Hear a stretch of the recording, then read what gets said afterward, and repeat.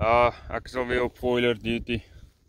Um ons het gister gister aand, nee, Dinsdag aand het ons um reën gehad so inch. En um ja, dit is koud, soos julle kan sien. Ons verwag kry 'n koue front hierdie naweek. Um ek's besig hier om mielies te kyk.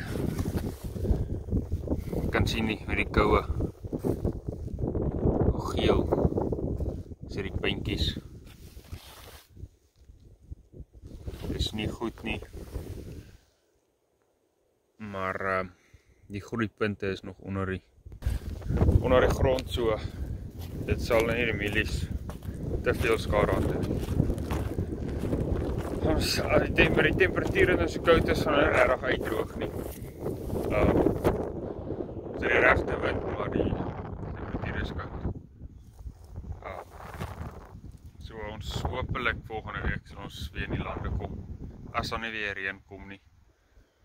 So dis maar dis maar waar ons staan nou. Ons kan nie verder plant, is nog te nat. En ehm um, ja, die naweek gaan glo 'n bietjie gaan nou net 30 Fahrenheit wees. So in die bed lê heel naweek. Ons het gister begin om bees ehm um, bakke te maak vir vir Brendan. Hier is die eindproduk. Ons is vandag besig om die volgende ene te maak. Hier is besig om die volgende ene te maak. Ons is besig om die raam so lank aan mekaar te weld.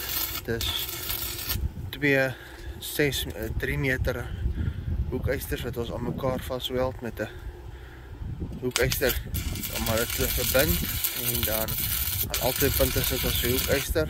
Ons is en dan sit ons die voete op en dan op die ou ende lyk hy soos die ene wat ek eerste afgeneem het. Maar ons is nou besig om die om die voete te sny.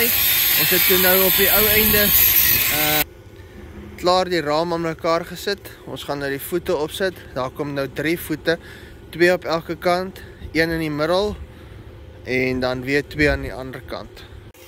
So ja, ons is nou so ver. Ons het nou al al 6 voete op. Sit nou daai gou daai dwarsuistertjie in om om stewiger te maak en dan gaan ons hom omdraai. Net gou al die plekkies weld wat nog geweld moet word. Dan die drie dromme opsit. Gou-gou meet waar moet die waar moet hulle eistertjies vaskom waar ons hulle hoe ons hulle moet vassit en dan is ons omtrent klaar. Ons sal hulle nog verf, maar ons moet eers gaan verf koop. So ja, daar het ons die gaatjies geboor. Daar het ons die gaatjies geboor, ons het die bout ingesit. En dit is die eindproduk. Ons het hom klaar gemaak. So ons het nou twee van hulle. Nou gaan ek die groot boor vat, groter boor en sommer net so so drie gaatjies hier in boor vir